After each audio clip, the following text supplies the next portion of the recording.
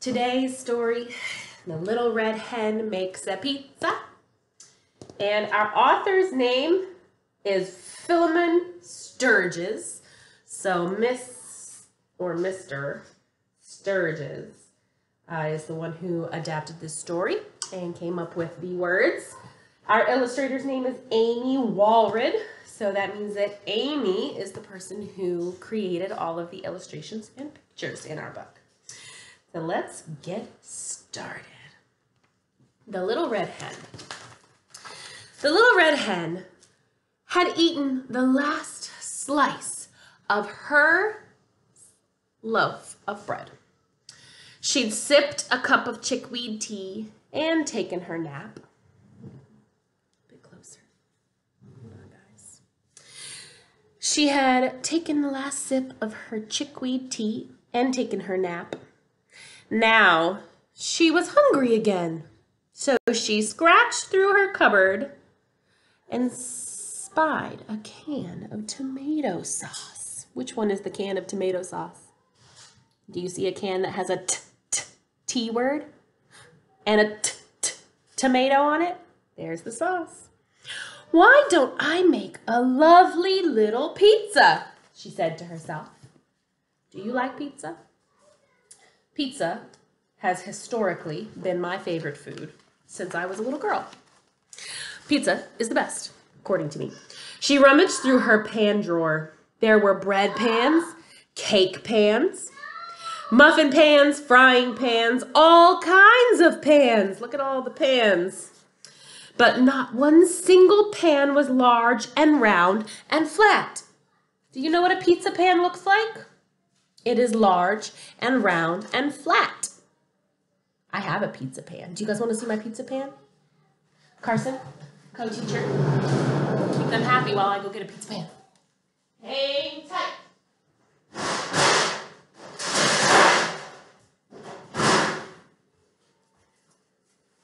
This is a pizza pan.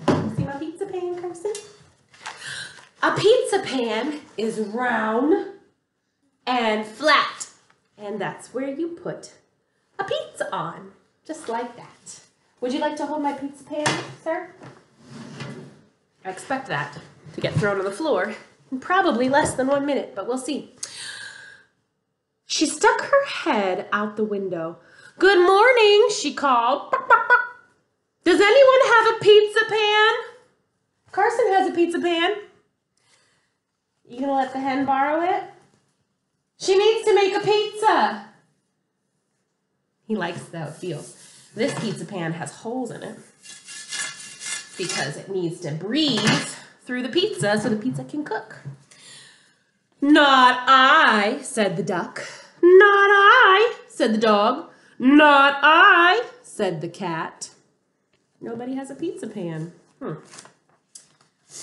So, very well then, I'll fetch one myself, said the little red hen.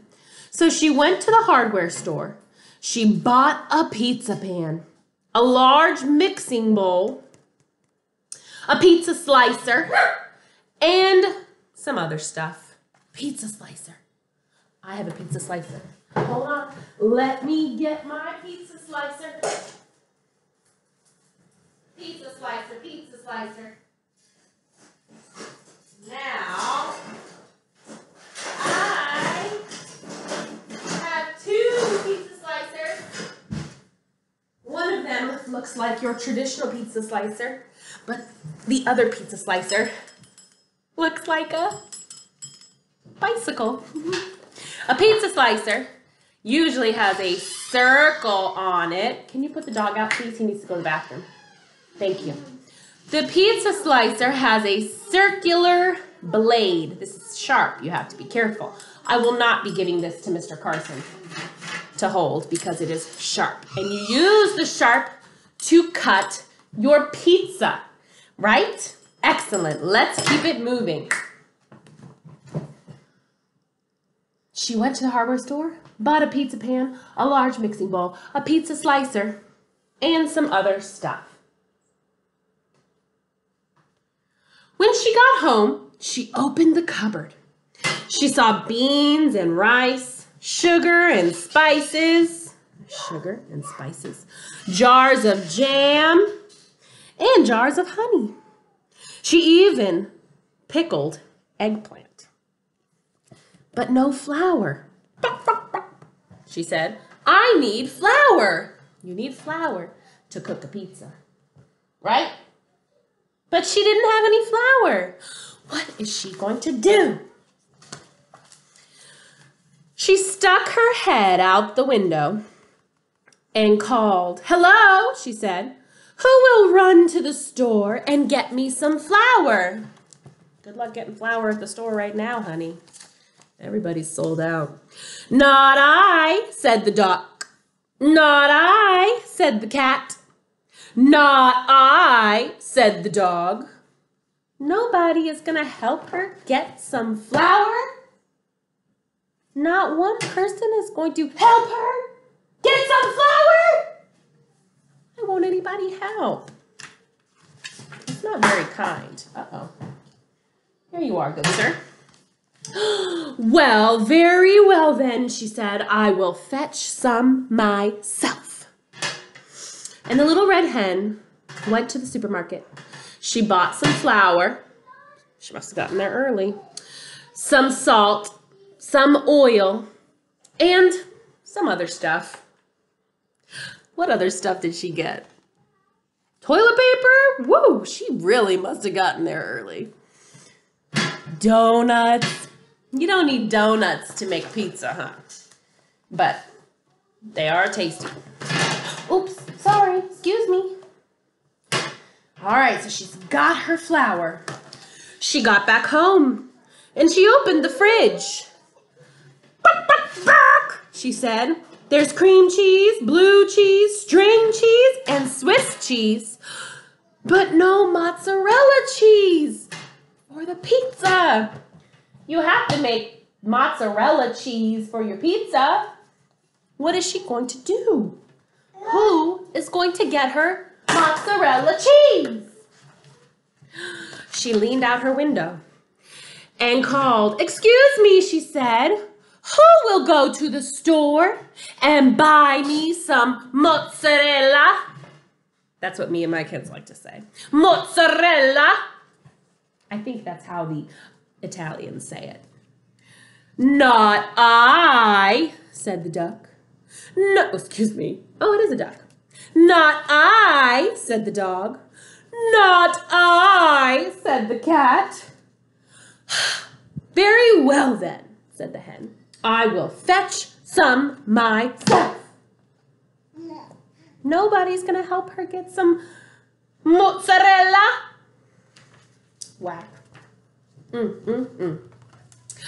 So the little red hen went to the delicatessen. Ooh, fancy. The deli. She bought some mozzarella, some pepperoni, and some olives. Ooh, this is to be a fancy pizza. She bought some mushrooms, onions, and garlic. Mm. She bought a can of eight small anchovies and some other stuff, but no pickled eggplant. She had that, remember? When she got home, the little red hen put on her apron and stuck her head out the window. Good afternoon, she called. Who can help me make the pizza dough? What do you think they're going to say? Are they going to help her make the pizza dough? Oh, excuse me, sir. Are they going to help her make the pizza dough? What have they said when she's asked for help so far? Not I, said the duck. Not I, said the dog. Not I, said the cat. Very well then. I'll make it myself. No help. They are no help. So she made it herself. She put the flour and some other stuff into her mixing bowl. She mixed and mixed and kneaded and kneaded and pounded it until she had a big ball of pizza dough. After the dough rose and rose, the little red hen rolled it flat and folded it and rolled it again and spun it around her head several times. When the dough was just right, she tossed it way up in the air one last time for good luck and put it on her pizza pan. Now what is it time for? She made the dough. What's she gonna do with it now? Then she stuck her head out the window. Excuse me, she said. Who will help me make the pizza toppings? What do you think they're gonna say? Not I, said the duck. Not I, said the dog. Not I, said the cat. Very well then, I will make it myself. Mm, all by myself, said the little red hen. And she chopped and grated and grated and sliced. Next, she opened her tomato sauce and spread it all over the pizza. On top of that, she put some grated mozzarella and some sliced pepperoni, some chopped olives, some mushrooms, some onions, some garlic, eight small anchovies, and some other stuff. But no pickled eggplant. The little red hen looked at her pizza. It looked just right. She put it in the oven and sat down to sip on a cup of chickweed tea. Pretty soon, a delicious smell drifted from the oven.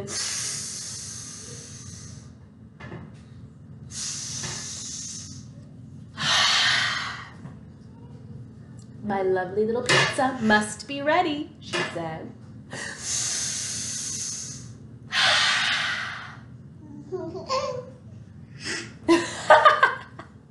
Are you sniffing the pizza?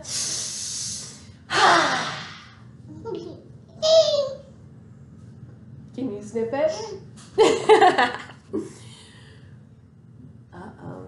Look at that little smell. It's wafting from the oven. Do you see it wafting? Here's the smell wafting. She's sniffing it and then it's wafting outside. Who's gonna smell the pizza? The duck. The dog. The kitty cat. They're going to smell the pizza. It was lovely, but it was not little. It was a ginormous pizza. Mm. Mm. So she stuck her head out the window. Good evening, she said. Would anybody like some pizza? Now, do you think they're going to say, not I? Or do you think they're going to want a hot, fresh slice of that tasty, tasty pizza? Hmm? What do you think? Can you guess what the duck said? Can you guess what the dog said? Can you guess what the cat said? What do you think? They all said yes, of course. But the cat scraped most of the topping off of his share. When the pizza was all gone, the little red hen made herself another cup of chickweed tea. Then she asked, Who will help me do the dishes? Now, can you guess what the duck, the dog, and the cat said to that? They each said, I will.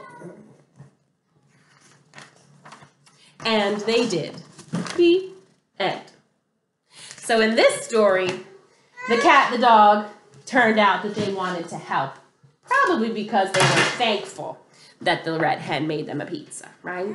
So that's nice. They did the right thing. So friends, what I would like to encourage you is what can you cook or bake that you can help make for somebody in your family? Whatever you are cooking or eating today, how can you help make it?